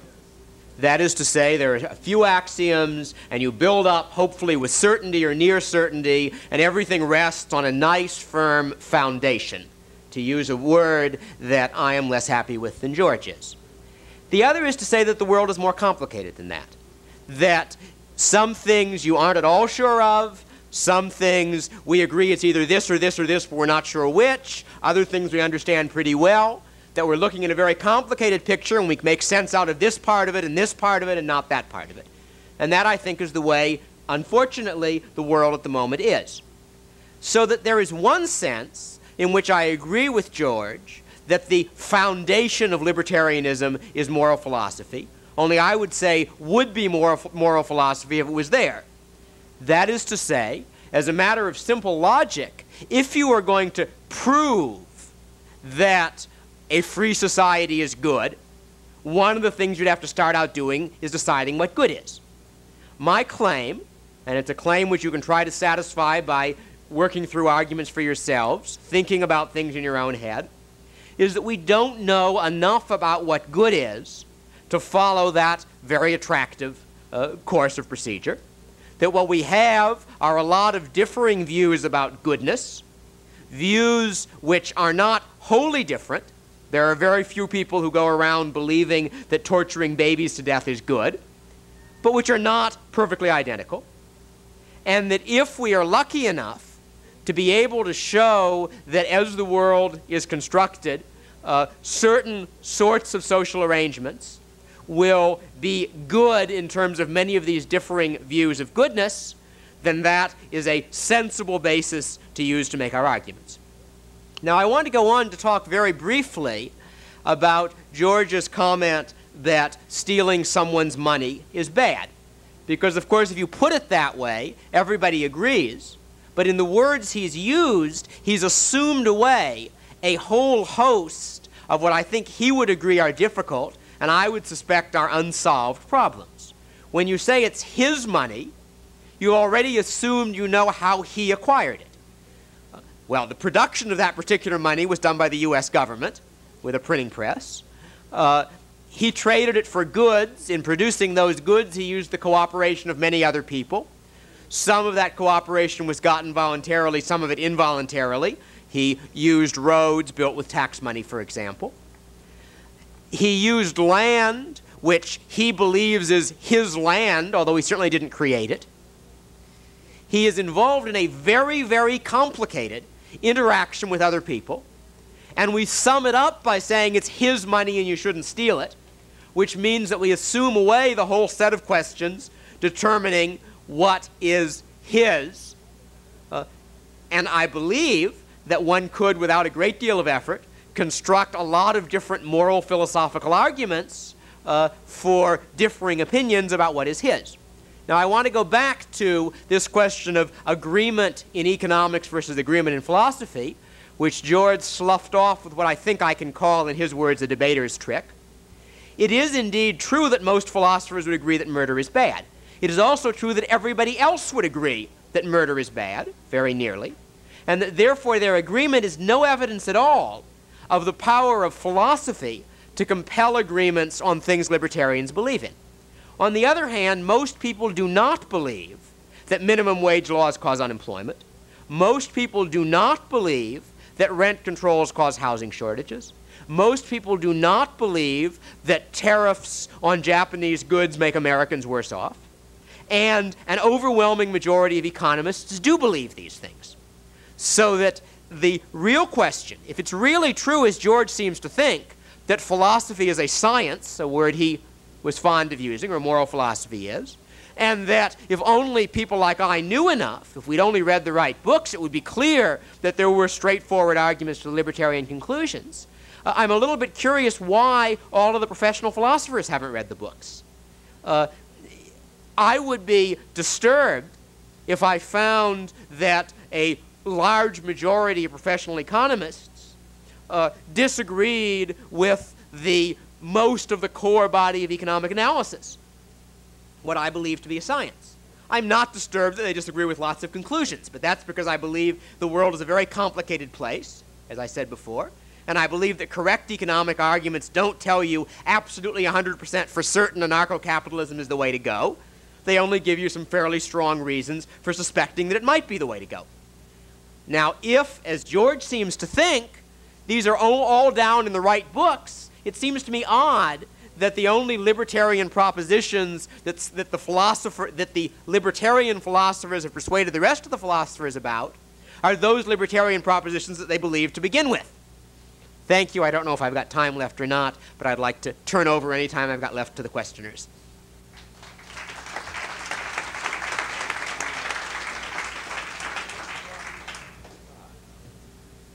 I want to. Hello? Uh, I'd like to interrupt for a minute or two to make a few short announcements. First of all, I want to explain the rest of the schedule for this evening and also what time things are starting tomorrow morning. As soon as I finish speaking, we're going to conclude the debate with 20 minutes of questions. Then we're going to begin our dance party with conversation and music and a light show that will run from 10 p.m. to 1 a.m. Now tomorrow morning, things start at 8 a.m., no longer in this room for the rest of the weekend, but upstairs, and you go through the main Via Capri restaurant entrance to get to the Childress Hayes room or whatever other rooms we're going to be using. Hey, uh, there's a one of the microphones has been put out there in the middle of the floor, and if anyone has any questions, would you please come up and uh, use the microphone so everyone can hear. If you can have a loud voice, go right ahead and don't use the microphone. I must say I very much enjoyed the debate. I came here uh, for the purpose of trying to decide which way to approach my non-believer in the Libertarian Party. I came to the Libertarian Party from the economic side, of being a trained economist. My question is this. Uh, it seems like the philosophical end leads to a dead end. Uh, take the example of the slaves. Could you not also ar argue, well, these uh, slaveholders, it's, it's immoral for them to own slaves, but once we emancipate the slaves, isn't uh, there other capital stock wasn't it created by the by the work of the slaves? Shouldn't we also steal that? Yeah. So so where does the yeah we should. That's correct. So we're left with a philosophical problem. Where do we draw the line? Where where does it become right to uh, let someone maintain their capital? After all, from the beginning, it was the guy with the big stick who collected the capital. So from a from a philosophical point of view, it's morally right for us to redistribute the capital stock anytime we see fit.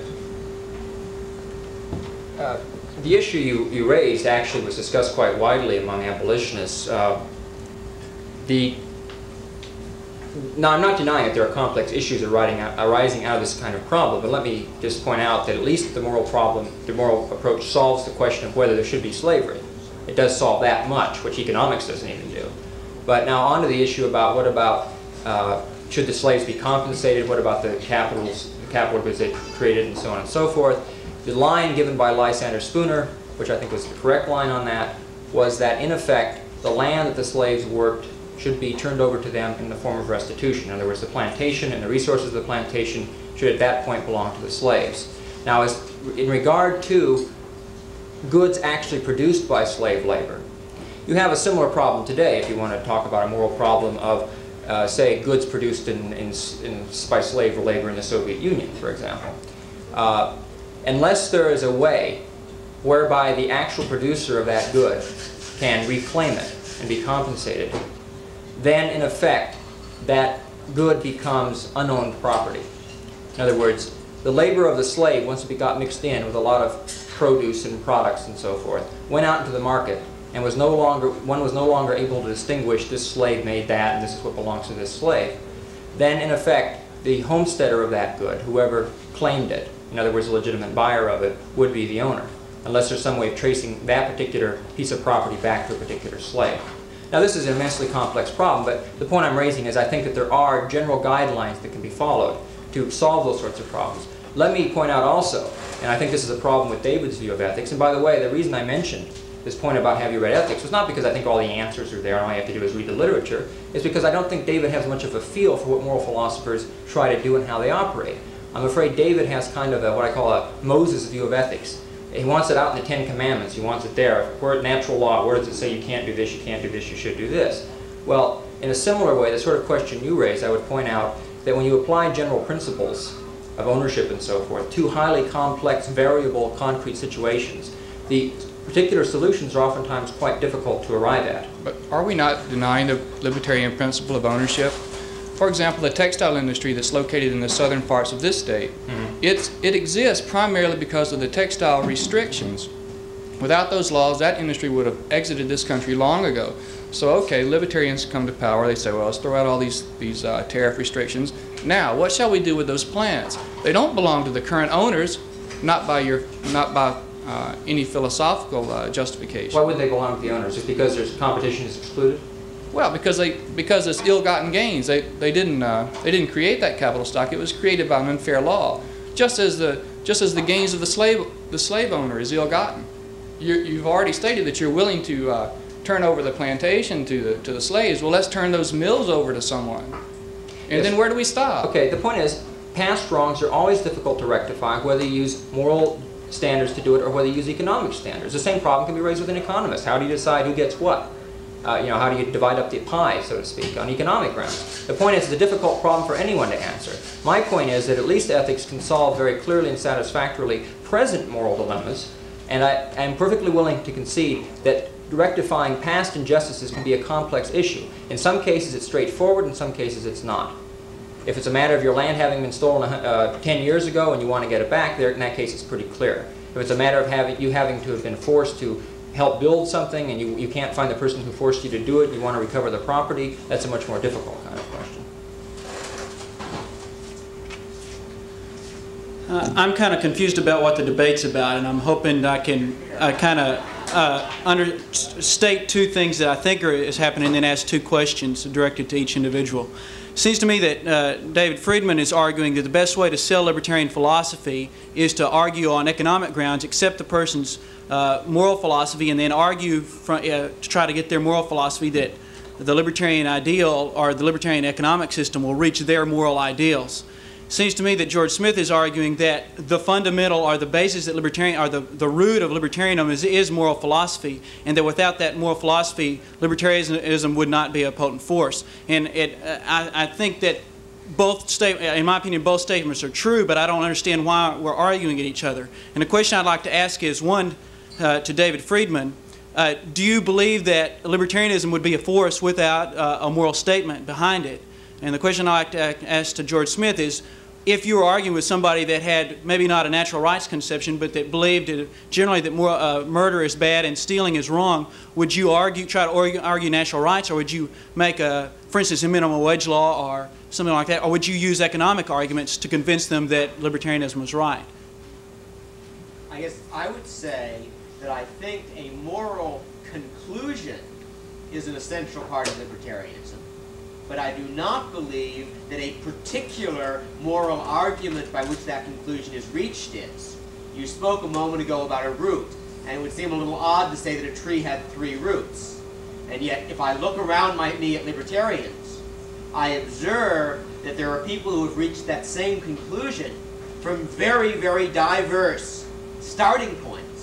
And that therefore, while the moral conclusion is a part of the essence of what we call libertarianism, I don't think it is true that moral philosophy, i.e., some particular theory of where terms like right and wrong come from, of why stealing is wrong, and so forth, is at the root of libertarianism. If it is, then quite a large fraction of libertarians must be rootless, because there is no particular such theory, I believe, which any sizable frac, well, which, which any large majority of people, uh, in any clear sense, subscribe to.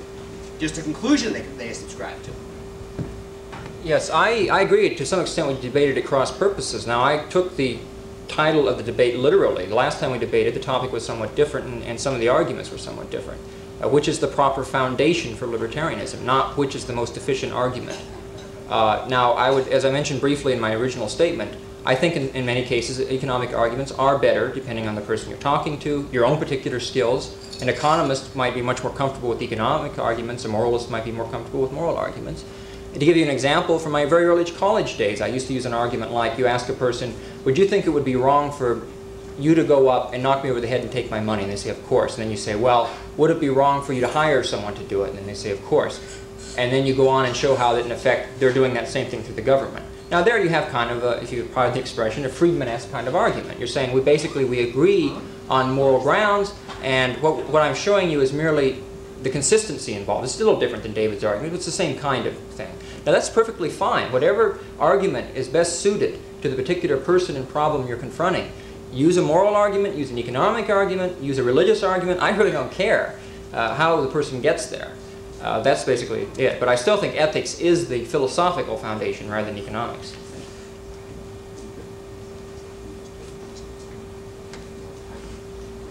Any other questioners? Sure. I have not so much a question as uh, Go to the microphone.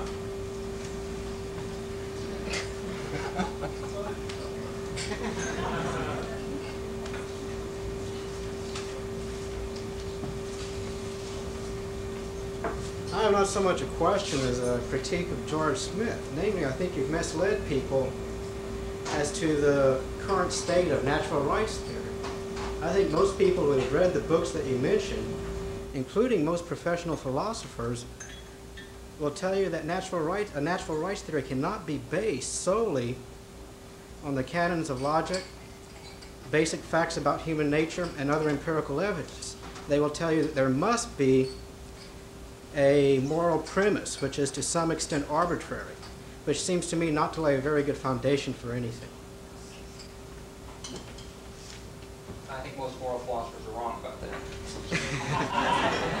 uh, now remember, when I talk about philosophers, there's a lot in natural rights theory and in natural law theory other than, than the usual cadre of libertarian philosophers, uh, Machan, Mack, these people. Uh, there you go to the Thomists like Henry Veatch, Mortimer Adler, the whole Aristotelian tradition. You can even go back and read Thomas Aquinas. There's a lot of good ethics in his Summa Theologica. There's a whole tradition of natural law philosophy, so I'm not confining it just to that. I will grant you that that sort of thing is out of fashion today. It happens to be coming back into fashion, judging by the number of books that have recently come out on the subject, but it is out of fashion. But I think philosophy simply took a wrong turn, and it's regrettable. But the, the modern philosophers who are doing natural rights philosophy, like Nozick and Rawls, do accept some sort of premise that really isn't, well, it is more or less arbitrary.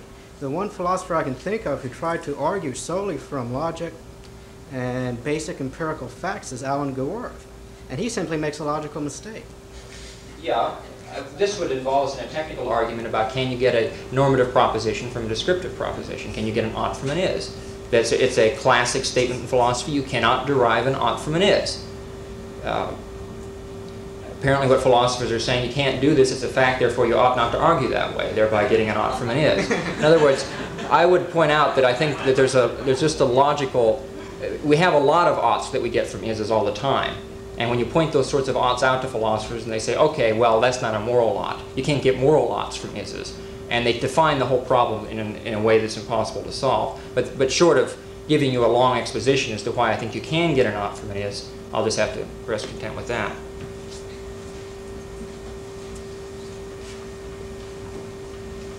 I'd like to sort of drop the context for a minute. Uh, you, you both seem to be arguing fundamentally what is the best way to advocate libertarianism, and one of you says it isn't necessary to do morality, and one of you says if you don't do morality in the long run, you're hurting yourself, and so on, and there's other things. But I'd like to talk about something else. I think both of you would agree there are some people who have a fundamental moral or whatever view that is totally antithetical to libertarianism that uh, there are some socialists or whatever who won't accept the economic. They don't have the same goals. They really do want to be poor, you know, they have a moral view that yeah, everybody ought to be poor and things like that. There are very few people like that. I don't think I've met more than one, but there are some. Now, if, if you meet somebody like that, you know, what I want to ask both of you is what can you do? Because you can't take David's view and say, look, you know, you accept the same premises, so here's the best way to do it, and you're going about it in the wrong way. And you can't take your view and go the philosophy thing because they, they, let's assume it's an intelligent person who's thought about it and he knows all your views on philosophy and he just disagrees with them. What, in that case, with these one out of four billion people or whatever it is, the very few perhaps that there are, what do you do in that case with a person like that to try and convince them of the error of their ways? Either one first. I guess to try to convince the person of the error of his ways, I suppose I would try to find out whether these things he wanted were really means to more fundamental things, uh, such as happiness or wisdom or whatever, and you might be able to untangle the structure of arguments in such a way that you could show that he was wrong about the connections. But ultimately, I would have to say that if you meet somebody who fundamentally wants things that are incompatible with capitalism, that you then persuade everybody else not to follow them, follow that person because they don't fundamentally want those things. And if that person tries to use force to prevent capitalism, you shoot him. it, it, it seems to me that ultimately, you know, sufficiently fundamental disagreements do lead to conflicts of force. And that one of the reasons that I want to try to keep as far as possible away from putting the argument in that form is because I don't like to be shooting at people and have people shooting at me. Well, if you, I mean, you know, in the early, in, in the late, uh, uh, early medieval period, you had kind of this aesthetic ideal of people would go up and sit on poles 30 feet high and let the gnats eat their flesh, and this, this is kind of thing you're talking about. There have been that sort of, there have been that sort of phenomena throughout history. Uh, I think the most you could probably argue, depends on whether you want to argue personal ethics or social ethics. In other words, whether you want to argue that this is not good for him on a personal level or whether you want to argue a kind of a libertarian case. Now, if he just wants to live a life of poverty, you could point out to him that a free society would leave him open that option and he could exercise his moral ideals to their full extent under that kind of society. The question arises, what if he wants to implement his particular moral ideal and force it on everyone else? Well, ultimately, you have to uh, use any kind of argument you can. I think what this amounts to is a moral disagreement. Now, I think you can make the claim that he's morally incorrect, which is a philosophical claim, if he wants to force everyone to live his particular lifestyle. There is the practical problem of can you persuade him personally? Now, that I don't know. You would have to sit down to him, you'd have to find out why he believes what he believes, what the premises are of it, if there's any sort of moral belief he has that you can get a hook into and try to show that the natural rights philosophy is better way to implement that moral premise. There any, might be any number of ways, and it's very difficult to answer it independent of knowing the particular person you're talking about. I want to say one more thing, I think, in, in answer to that, and that is suppose you meet somebody who says, uh, you are a little green man from uh, Alpha Centauri, and you are here trying to blow up the world, and therefore I'm going to try to kill you because of that. Uh, presumably you deal with him by using force against him. How do you describe a person like that? Well, being a firm believer in Szasz's theories, I wouldn't try to describe him how I think you want me to try and describe him. I would say he was crazy. I yeah. thought that's what you wanted. And, and I, one of the things that very much influenced my philosophical views was uh, about 16 years ago, losing an argument to Isaiah Berlin, in which Isaiah Berlin was arguing that there were some moral views for which you should also describe somebody as crazy. That is on very similar grounds to the grounds on which you would describe people with some positive views as crazy. And since then, my own view of moral philosophy, uh, which I am less uncomfortable with than all the other ones I've seen, although I'm not all that comfortable, is that it has this, that judgments on oughts ultimately have the same sort of basis as judgments on ises, uh, that the disagreement you observe is of the same sort in the two ish in, in the two cases, and therefore, in that sense, I guess I believe both in natural rights and in some sense in absolutism, ethically speaking, uh, that is that there are true and false ethical statements. Well, let me ask follow up on George there. Uh, would you go along with what David said? that when you do come to this brick wall and they do try to implement it rather than just believing everybody ought to be forced to be poor, uh, when it gets down to it, do you use force on them? If they use force on you, you have no Okay. other option. Sure.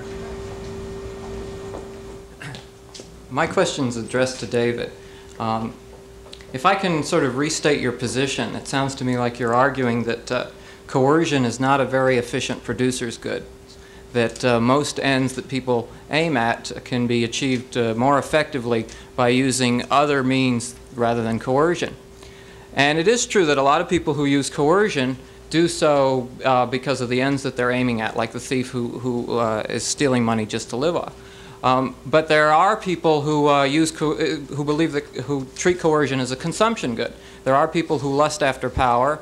Um, I would I would argue, or I would at least entertain the proposition that most murderers, um, or a lot of murderers, um, don't do it because they're aiming at other ends, but because they enjoy the actual act. And so, what I would like to ask you is, um, first of all, do you believe that there are a significant number of people who think of uh, coercion as a consumption good? And uh, the second question is, uh, how effective do you think the economic arguments would be against them? in many cases very effective. Uh, my,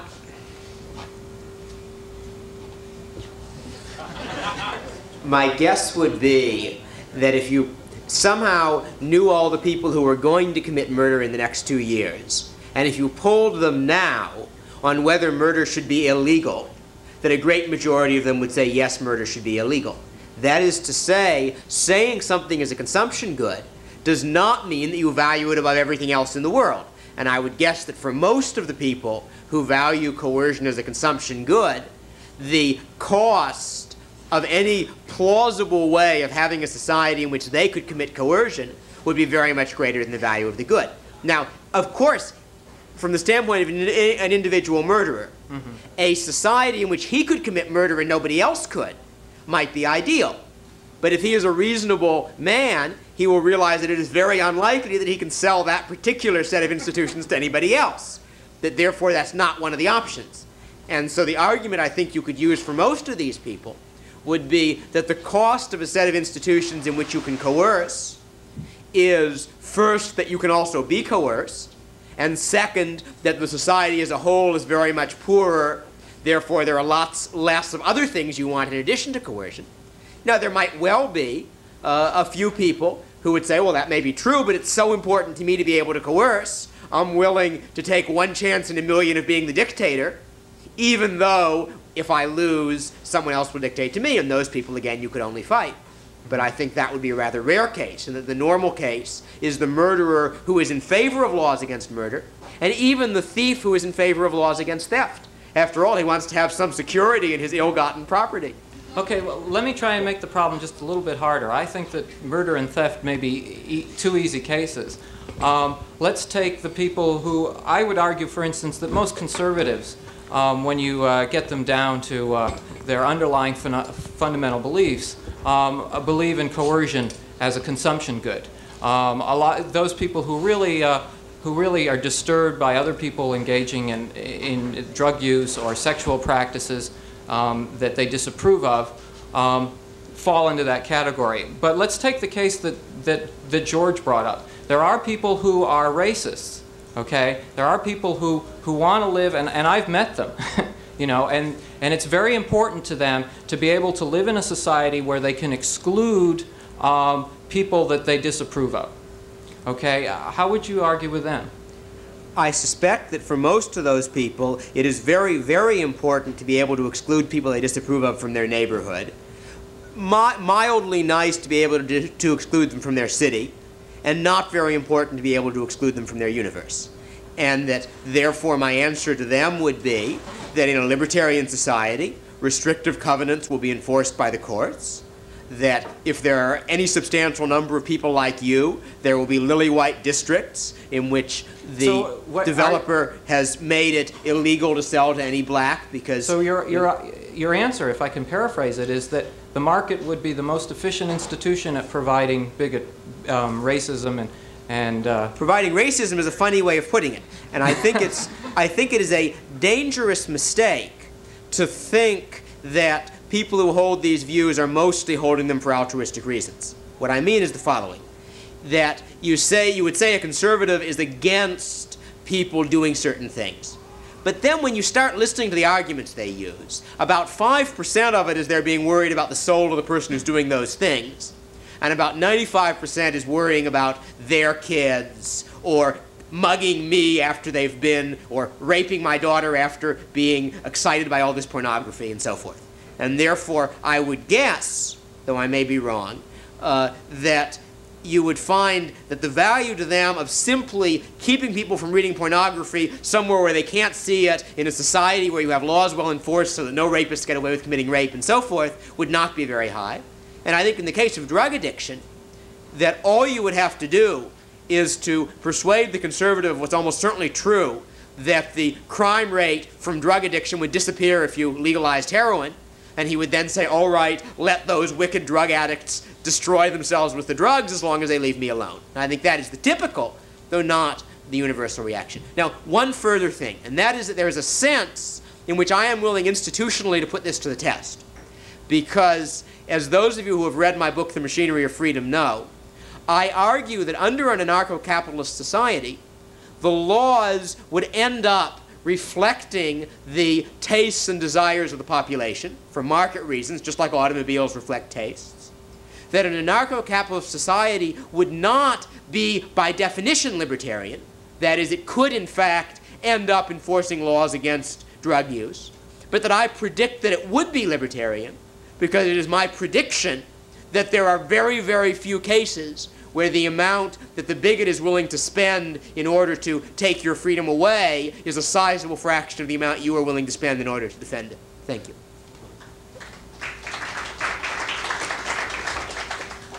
We're pretty much out of time, but we have enough time for the, the two people who are already standing up there. Plans. Doesn't mean what I say won't be true. Absolutely. Okay. At the uh, original debate that went on in San Diego, I asked you a question that I'm going to uh, I follow up on. Uh, on in the uh, course of dealing with a lot of feminists, who are, and feminism is not a libertarian stronghold, I come across people whose goals are very well spelled out by the equally nebulous term. Happiness is very nebulous, but the equally ambiguous term justice. And when I told you that justice, as defined by them, was egalitarianism, and was egalitarianism in reference not to everyone being rich, but everyone being equal, ir irrespective of whether it was poorer or richer. And you asked me, well, in fact, had they considered the economic arguments in dealing with people subsequently and asking them that question, they have said that even if people were poorer, that in fact they want justice, which is egalitarianism. Do you figure that there is any way at all to economically approach these people who say, and it's a large, I find it very predominant in a very large movement that in fact egalitarianism, even if it is poor, is their goal, which is justice. I would say the first problem is to find out whether they're lying to you, because I think that in facing sort of hypothetical questions, a lot of us do tell lies, sometimes sort of unintentionally. And I'm curious, is it your impression that any of these people actually believe that equality means making the poor poorer and making the rich even more poorer, so to speak?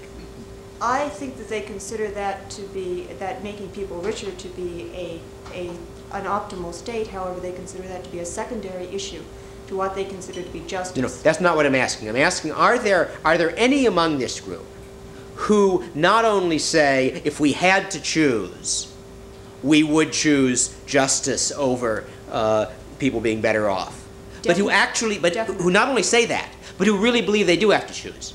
Are there any people there who actually think that their institution, that their arrangements will make the people who they're, who are now oppressed When- worse off? When people come up to me and give me a very systematic uh, approach to their preferences and say, this is my preference, and are consistent in it, and can systematically show me why it's their preference, I take their word.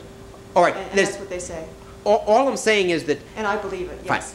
You may be right. All, all I'm saying is one has to distinguish between the, let us say, the libertarian who says, uh, let right be done though the skies fall, and is quite sure the skies aren't going to fall. Well, they're doing the same version of I- let right be done. I understand, and, and, and, and, and the question I'm asking is, is it only because they're sure the sky won't fall that they take that position? And you think not. You think that even if some of them did believe that they would make the people who they wanted to help worse off, Well, they would still be in favor of the equality. You can point out to them the example of Soviet Russia, which is considered by most feminists to be a far better society than America in terms of their ideal, and you can point out to them that it is substantially poorer, and they will say, well, yes, nevertheless, it is just, and that is my ideal. Yeah, I would say that would be evidence, and in that case, I would suggest you probably better argue moral philosophy with those people. Okay. Had a lot of good questions and a lot of help from both of our debaters.